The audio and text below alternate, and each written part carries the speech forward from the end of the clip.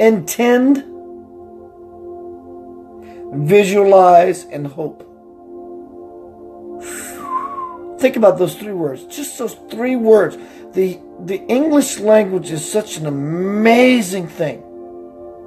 Let me say that again. Intend, visualize, and hope. Is there any other purpose for humanity? To intend, visualize, and hope. Hello, Sue. Is there any purpose for humanity? There is none. In fact, it is our salvation. Dear Lord, hear me when I'm offering. It's our salvation. To intend, I intend a better world. Hello, Debbie. I intend a better world. I visualize. In fact, vision is not about this. Vision is about this the heart. I intend a better world. I visualize a better world. And I hope for a better world. If you've ever seen the movie The Shawshank Redemption, the actor, what's his name, Tim Robbins, he says, Hope is a great thing. In fact, it's probably the best of things. Think about that. Take that in for a moment. Hope is not only a good thing, but it's probably the best of things. We don't know what tomorrow will bring. We don't. And so all we can do is intend, visualize, and hope. Hello, friend. That's all there is. There is nothing else. It doesn't have to be difficult. What if the purpose of your life, the purpose of my life, the purpose of our lives is just to intend, visualize, and hope? Hello, Allie not only for good things, but the best of things. For all people, for all races, for both sex. Hello, John. All nationalities, all creeds, all codes. Intend, visualize, and hope. Hello, Carolyn. I can't speak for anyone else but myself. And I'm going to take this bragging point. Pat myself on the back. Life is so amazingly beautiful. And if it's not that for you, I feel for you. And I want that for you. I just want that for you. Whatever that means for you, however that shows up for you, whatever form that may take, I want that for you. I love you. Things are changing for me in such a way, exponentially. I couldn't stop it if I tried, nor would I want to.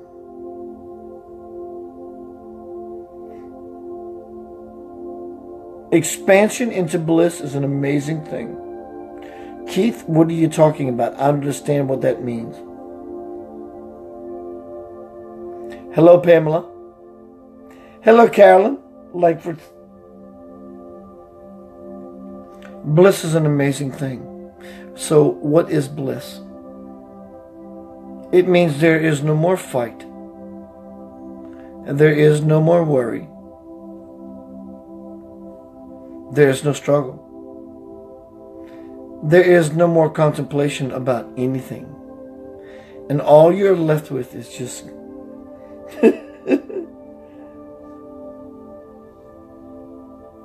just being in the gate the gate to God, the gate to the stairway to heaven, Jacob's ladder, the spiritual ladder, the spirit which ritual ladder.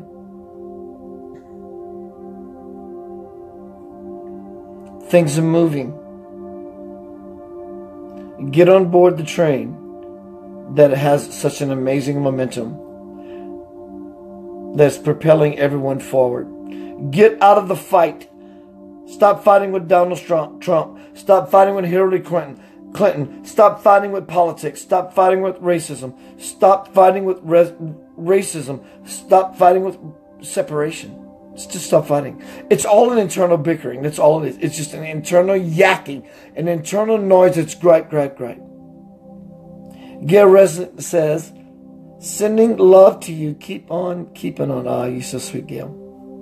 I remember you very clearly and the words, the beautiful wisdom that you offered me, Gail, when I was going through a time of transition. It means a lot to me. So I'm hanging out late night after a music gig, and the words resounded within me. Let me be bold. God spoke to me like it speaks to all of us, but I heard the call, and it was intend, visualize,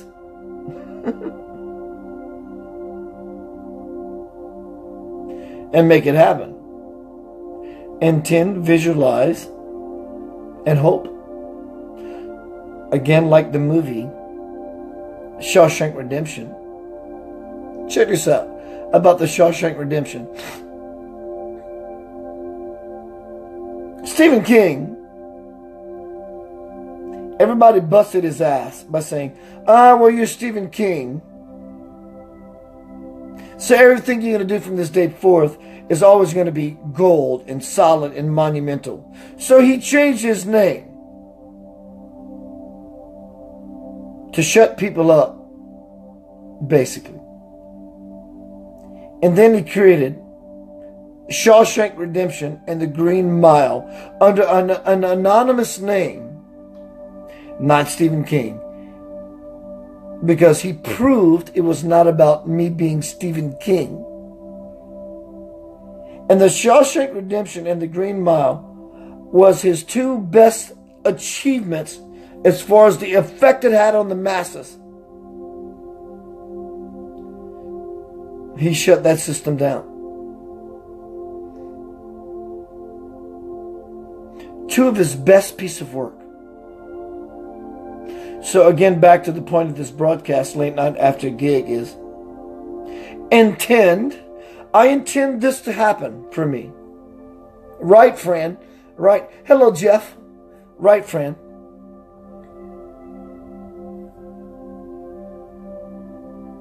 intend. This is what I'm wanting, going for to happen. Visualize. There's no way it's not going to happen. A blind man once said, climbing Mount Everest has nothing to do with seeing. It has everything to do with vision. A blind man once said that climbing Mount Everest has nothing to do with seeing. It has everything to do with vision.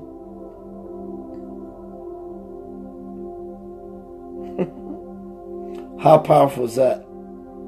So, vision is greater than seeing.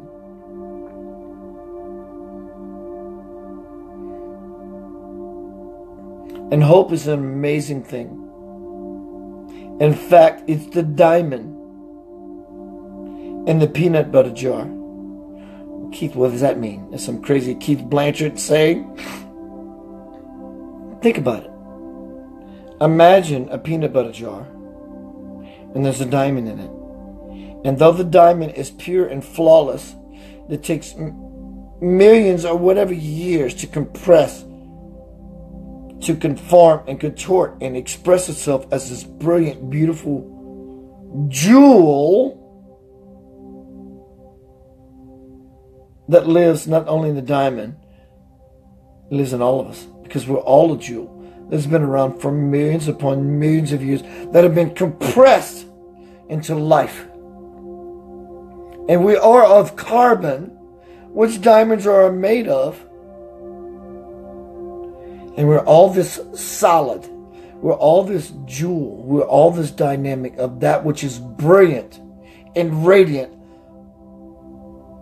like a diamond, radiant and brilliant. and we exude and express. Hello, Steve Shanks. And we exude and express. Exude and express. And when you're in your essence, dear Lord, listen to me what I'm offering to you. Please. When you're happy, for no other reason except for just to be happy, something begins to transpire in you and in your life, and it begins to affect not only other people, because as you affect those who are close to you in proximity, it begins to affect the others close to them in proximity.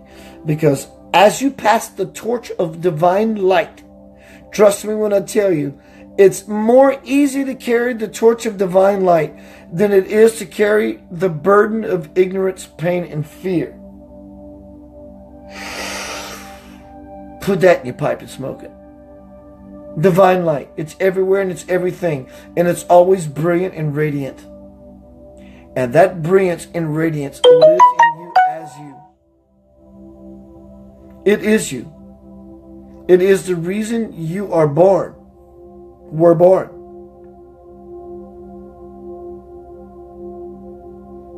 Life is not difficult.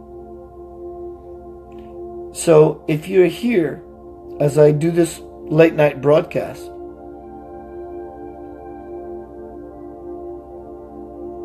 and you find yourself in a position in your life that things are difficult,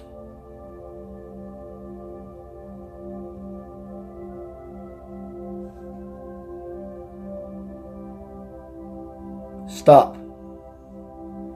Hello, George. Just stop. Stop the wanting to fight. Stop the bickering monkey mind noise. There's a monkey that lives in all of us. A monkey. And it wants a banana. And it's going to bitch until it gets its banana. So don't piss off the monkey in your monkey mind. Give it the banana it wants and stop fighting it and stop fighting with it.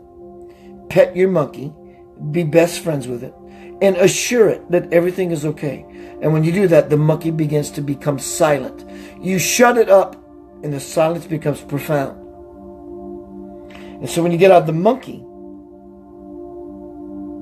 and you get into the spirit, it's it's truly, truly, it's not an ad, it's this is not just idle words I'm offering to you because I'm trying to be an illumined spiritual teacher. What I'm saying to you is there's an ooh ooh ah ah going on in all of us. Right, wrong, in, out, up, down, good, bad, hot, cold, blessed, and blasphemous. It's all shit. It's noise. Monkey minded noise. Listen to the music I'm playing right now. I'm going to turn it up. Listen to this.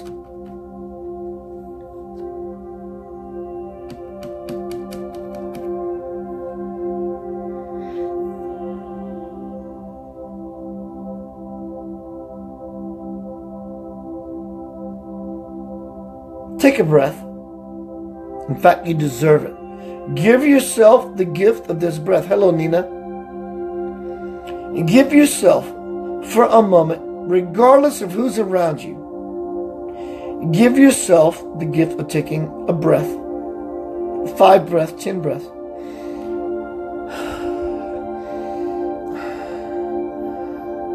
And listen to this music. and it's taking you somewhere.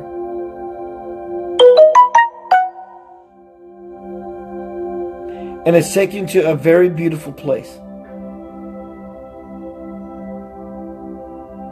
My question to you, and I know this may affect some of you, why, as my offering of this beautiful place, trying to invite you and support you into falling to it, making you afraid?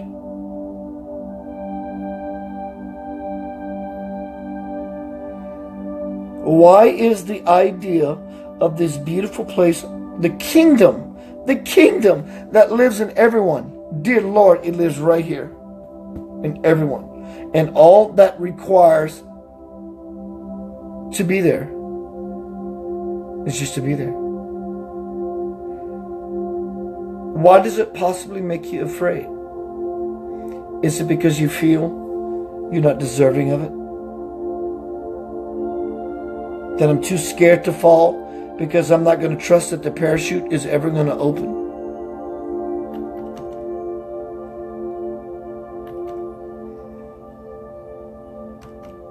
That if I open myself up too much, that some demonic force is going to come in and invade and intrude my life? That is not real whatsoever. It doesn't serve you. It will never serve you. And it's keeping you from the kingdom. So, what is this kingdom you're speaking about, Keith? It's been written about in all scripture. It's etched on your heart. It's etched in every scripture. The Quran, the Torah Ora, the Bible, the Bhagavad Gita, it's all the same grace. Why are we as humans so scared of peace? Because peace is power.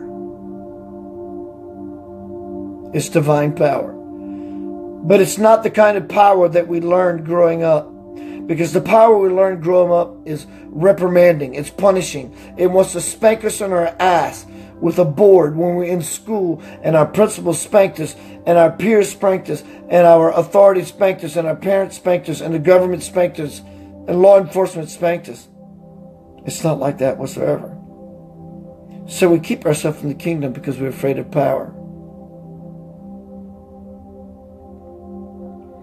This power is not like that whatsoever. And until we recognize and reveal that, hello, Linda, until we realize that to dwell in the kingdom, that there is no spanking, there, is, there are no peers, there is no government, there is no church, there is no authority, there is no parents, When you get to that place, hello, Angela. When you get to that place, that very, very simple place of being, it gets really, really easy and really, really cool. So tonight's broadcast is called Intend, Visualize, and Hope for basically for a better world. And as I said earlier, if you ever watched the movie The Shawshank Redemption, Tim Robbins, the actor of the movie, at least his role, he says, Hope is a good thing, probably the best of things. And in the word hope, the word hope embodies intend and visualize. Because really, there's nothing else we can do. Nothing. We cannot, some people can, I can, sometimes you can, sometimes we all are able to have a glimpse of the future. And the more we become spiritually endowed and practice our walk, the more we're able to vision the possibility of a future. But there are many possibilities of future. They're all different dimensions, all different paralyzed par- par- parallels of earth. But we're looking for the highest one. We're open for the highest one. And we're open to the highest idea. Then we get glimpses of the highest idea.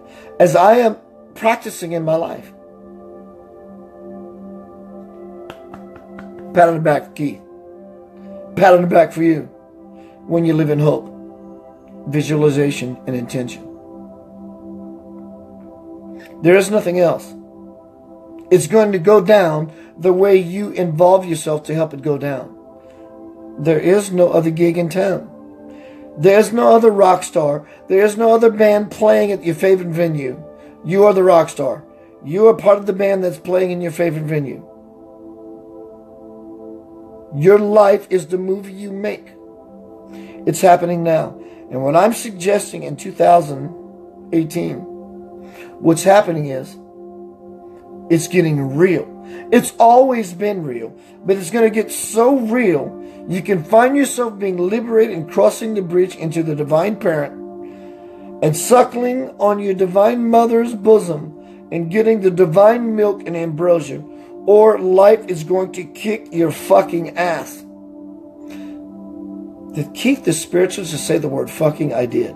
And I did it intentionally and consciously and purposely because it's a word that represents power. I got your attention. So I use that word not out of blasphemy or cursing because it has power.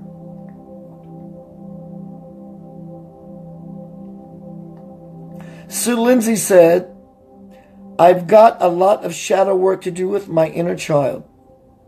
I have found out where my anger issues come from. Good for you, darling. And the truth is that I keep putting it off because I'm scared. Why? So I have to, no idea. I have to press this button. Give me a second. So I really need to tackle this.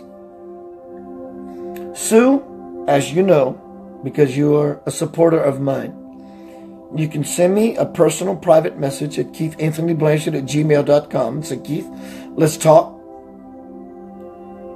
But Sue, I'm going to challenge you on purpose. I'm going to challenge you, Sue. You ready? Because in my challenging you, if you take me up on my offer and my challenge, something greater is going to happen than if you and I did it privately. And you may say, Oh my God, Keith, you're scaring the piss out of me. What is that? It's not required of you. I'm not trying to call you out in front of all these people and make light or fun or trivialize your scenario, dear. I'm not. But since you're confessing, let's do it now. Because if you do it now, we have all these people watching that will see you unfold in front of me and in front of you and in front of them. And then you will receive more than you ever would have in a one on one session with me. Because organically and naturally, you will become vulnerable. And uh, invulnerability is becoming naked, raw, to use the word. Naked, we always imply like raw, sexual, sensual, revealed would have to get crazy or extreme with your idea of wanting to tackle your said condition. But if you want to ping pong with me, let's do it. In other words, you confessing, you witnessing. But by again, by no means am I calling you out. If you want to keep it general and vague, that's okay. But the simple question I would ask you, dear, is you said, I have a lot of shadow work to do. Uh, I have a camera issue. Give me a moment. I have a lot of shadow work to do with my inner child.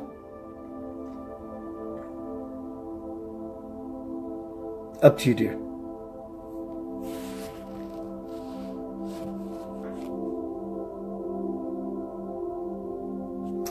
So just hanging out late night. Let me see what time it is.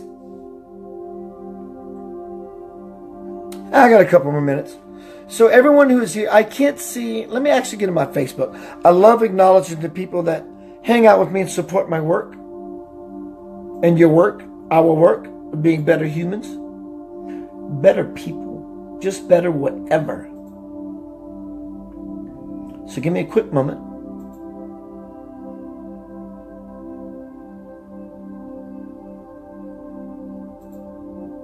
Better whatever. There we go.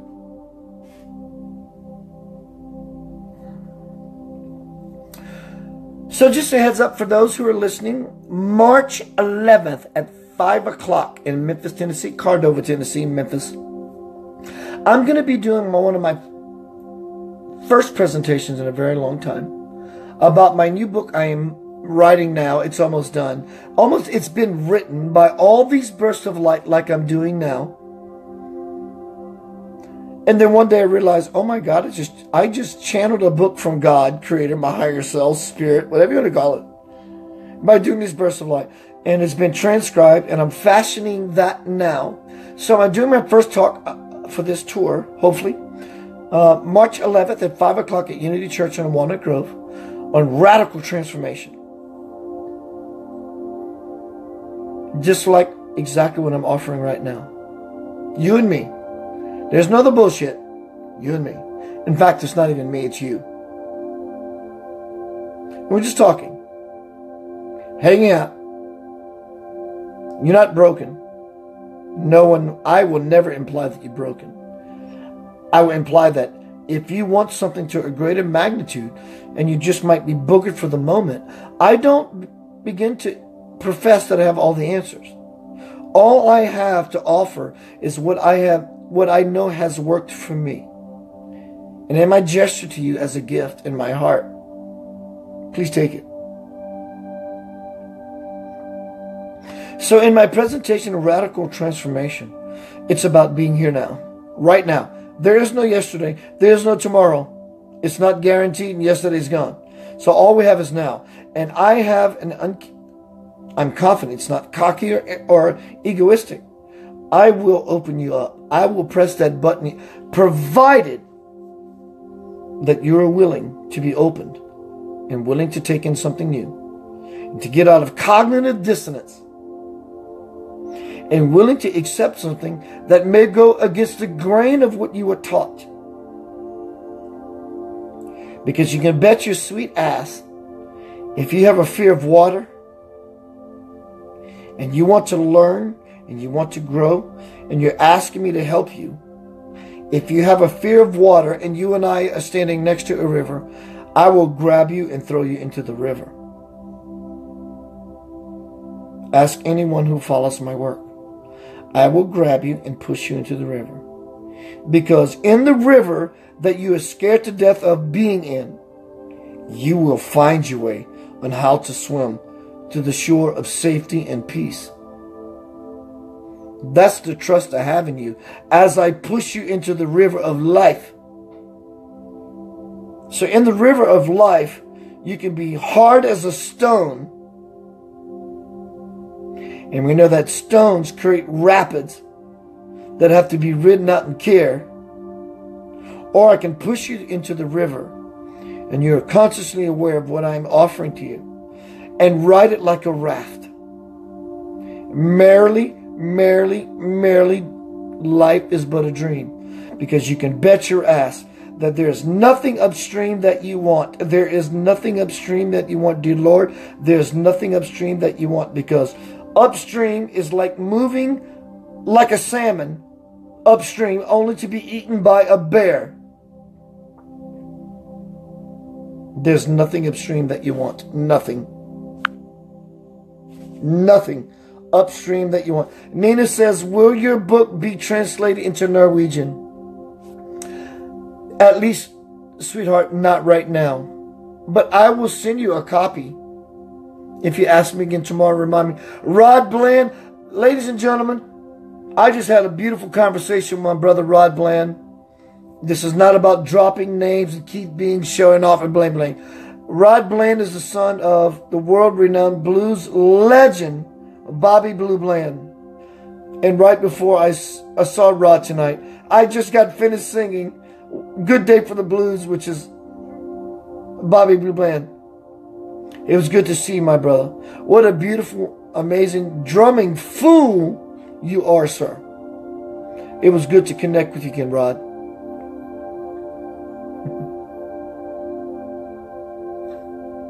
So tonight's broadcast, late night broadcast, before I sign off here shortly, I got about another 10 minutes at most. Is intend, visualize, and hope. Like in the movie The Shawshank Redemption. Tim Robbins, the actor, said, Listen to this, please, with your heart, with the life breath in you, for every anything that means everything and for everything that means anything. Hope is a good thing. probably the best of things. There is nothing else, and that is all we have. Hope. I don't mean blind faith hope. I don't mean blind hope. I don't mean, oh, I'm hoping for this to happen. That is so superficial and not what I'm implying at all. What I am implying and suggesting is to do this and fall right there. And when you live in that place of hope, it becomes a capital hope. All caps, H O P E. Exclamation pointed three times, underlined, bold printed. It's not just, oh, I hope this happens and I'm flippant about it. That is horseshit. It's deeper than that. It's falling into the stargate, the cosmic womb, anything that means everything and everything that means anything. And it lives right there. It's the way of the Christ. It's the way of the Buddha. It's the way of the lotus flower. It's the way of your life. It was the way your life is intended to go. And your life will go that way as it was intended. When we intend it to go that way. It's not rocket science. Dear Lord, it's not rocket science. It's not what we're taught. It's what is innate in all of us, and we know it, and we knew it then, and we know it now, but because of all the monkey mind bitching noise from society, peers, parents, authority, indoctrination, familial noise, we've lost sight. Sight, I don't mean seeing. Let's say that right now, metaphorically, I have my glasses on because it helps me to see. That's not what seeing is. I'm using the glasses to help me see. But if I take my glasses off and I close my my open eyes, then I have vision. Vision. True vision has nothing to do with seeing in a physical capacity. Nothing. Nothing, nothing, nothing. When your heart is open, dear Lord, you can see so far beyond what your physical eyes can ever begin to imagine what that is. This is seeing. I've been seeing all my life, my whole life, and I see pretty good. Oh my God, is this what seeing really is? as I put my glasses back on. Yes, I'm telling you, that is what seeing really is. It has nothing to do with your eyeballs and your sockets of your head. Seeing is a way to take in information. You can see with your ears. You can see with your feeling base. You can see with the taste in your mouth. You can see with the smell that comes through your nostrils. You can see with your touch. That is seeing. Seeing implies a taking in of things. A vision implies I'm for seeing, not only for seeing, but far seeing. And I stand for that. And I'm planted in that.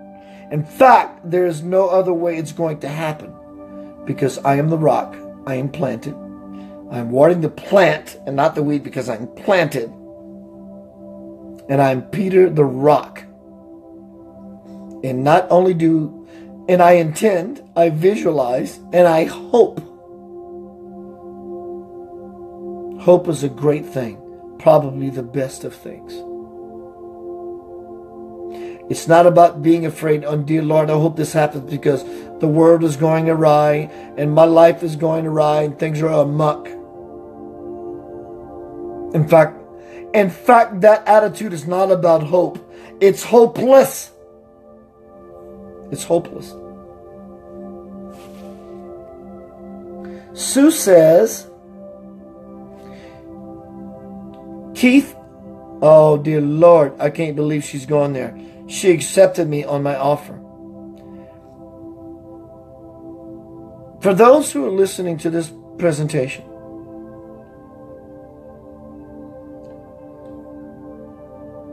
Stop what you're doing. Just stop.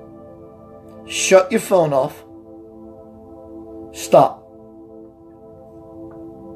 My dear sister in Christ, your cosmic sister as well, took me up on my offer.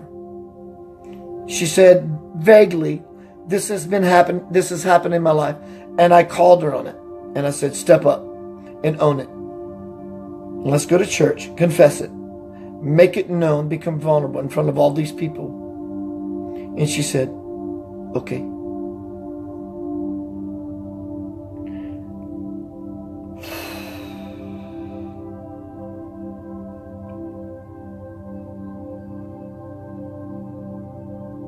Sue Lindsay, I applaud your courage.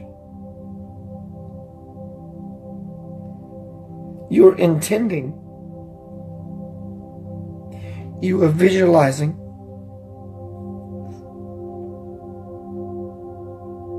and you are hoping. And you are probably the intuitive reason, and I have no doubt about the inspiration of this broadcast. So thank you for that moving through my heart. She says, publicly, vulnerably, modestly, honestly, witnessing, Keith, as a child, I was beaten. All the while, I wanted to challenge. I prayed, I pleaded, and I cried. I got angry. I have carried a barrier with me ever since. I got married.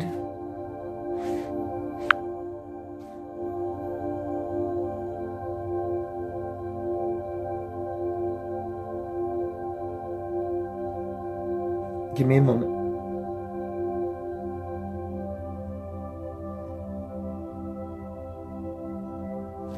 I, I, I got angry. I have carried a bear with me ever since I got married. I was beaten. The anger again surfaced. I need to let it go. I don't want to stomp around angry for all of my life. I want to let go. I am naked.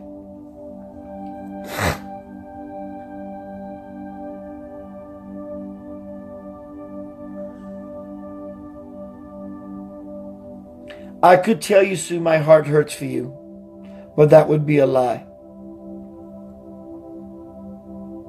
I'm actually overjoyed for you. Because what you just said publicly,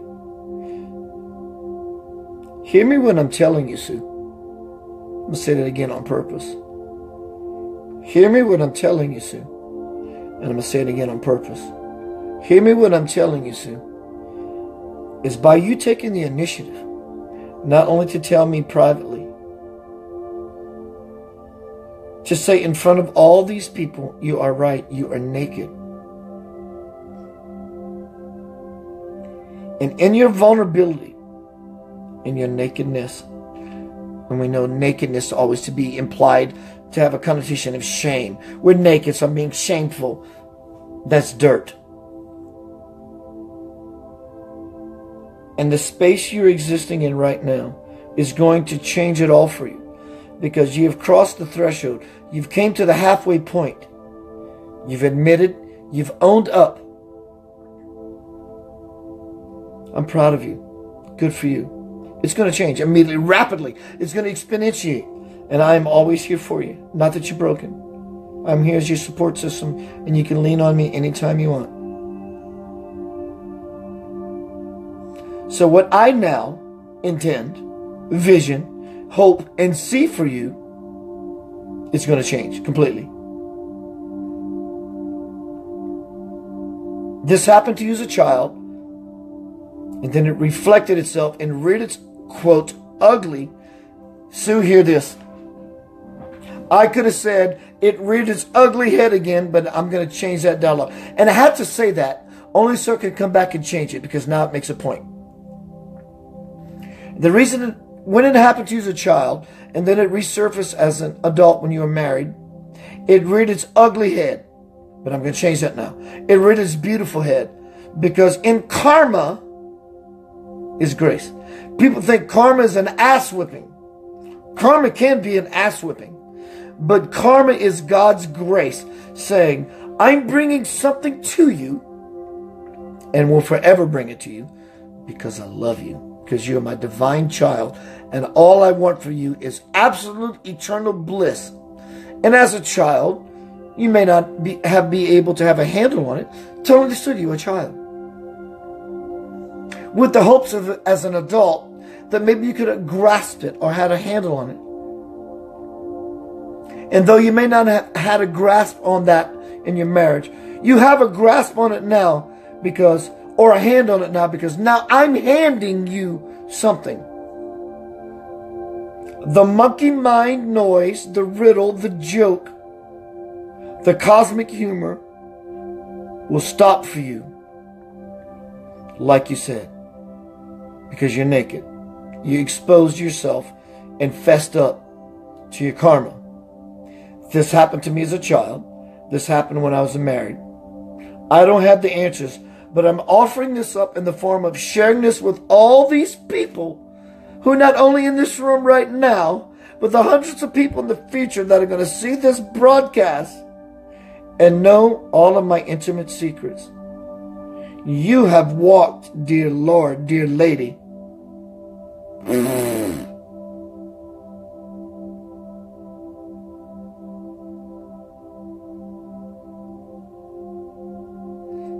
Another step towards the kingdom.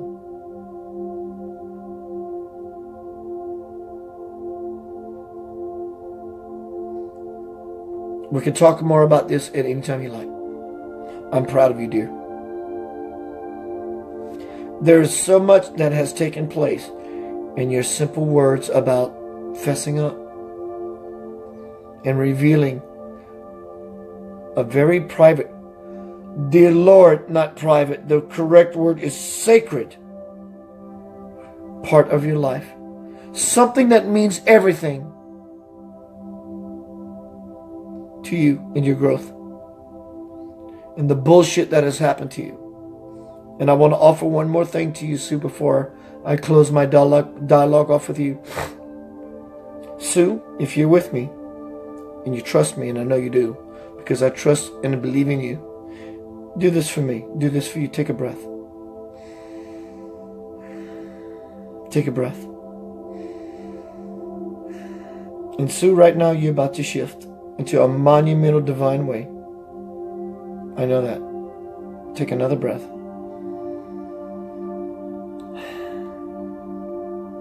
It's not your fault.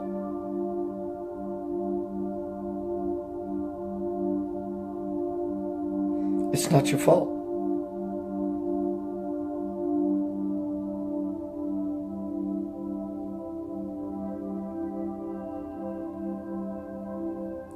It's not your fault. So you talked about letting go. I want to let go. Stop it. Let go and experience the bliss that will well up inside of you when you do. I love you. I love you.